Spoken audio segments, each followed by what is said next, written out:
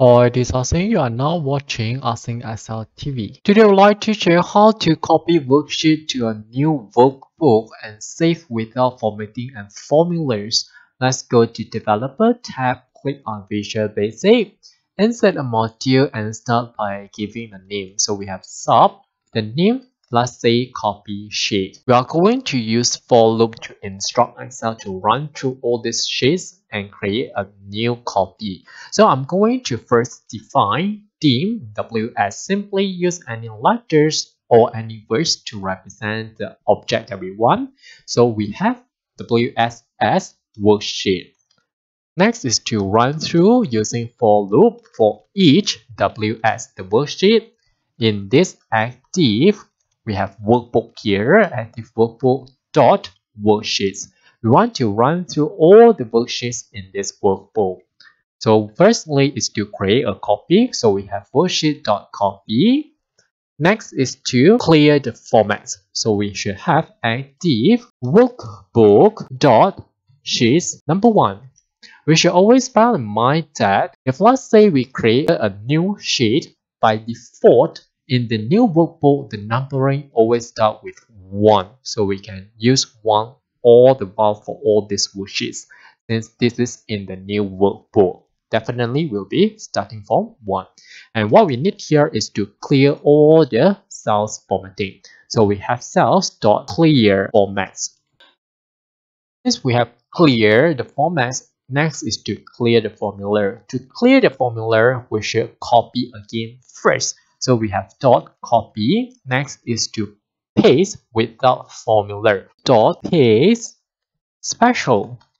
And what kind of instruction we want to instruct Excel to perform. In other words, the paste type we want the Excel to perform. We should first type paste colon followed by equal sign. And next, we can go to Google and we type paste special VBA and we look for the Microsoft documentation. Next is to scroll down and click on the Excel paste type and we should look for the correct instruction. Copy the name and back to VB, paste it here. Next, we can now save this workbook since it's already free of formatting, free of formulas. We can now save. So we have active workbook dot save and we need to save as since this is a new workbook which is not currently saved. And we should paste the location here. If let's say we don't have any idea where should we paste we can move to the current file location right click the file and click on properties. Look for the location or simply click on the location bar copy and paste it here since the location must be in terms of string, make sure we use quotation mark. So start with quotation. Before we close quotation, remember to use backslash since we want to connect with the name of the file. So we use ampersand to join the name and the name that we are going to use is the active sheet itself. So we have active sheet dot name and we use ampersand to join the file type or the file format. Also use quotation mark and we type dot xlsm if we want to save this as macro enable workbook. However, if you want to free of macro, then we should use X instead. So have quotation mark close.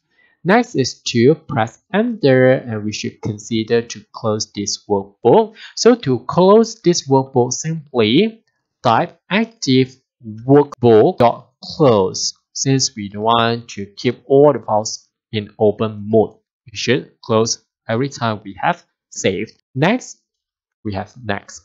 Since we have done for the first worksheet, and we should proceed to the next worksheet. Let's see the result. So when we click on run we should have file created and save close save close. So let's check whether it's the one that we are looking for. So we click on one of the files that we created. As we can see originally we have formatted in this format with merged cells and the words are red in color. Now check we have no formats here. And how about the next shape. Currently, we have colors and we have formulas. So we look for the Excel sheet, which is now the Excel workbook.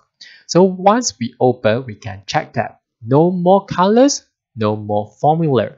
And finally, the last sheet that we have, so we have the last sheet which is TV and we check that this is without any formatting or formula. As we can see, this is with formulas and this is with formatting as we can see here, but this is not. Okay, that's all for this video. Thanks for watching. Hope like this. See you.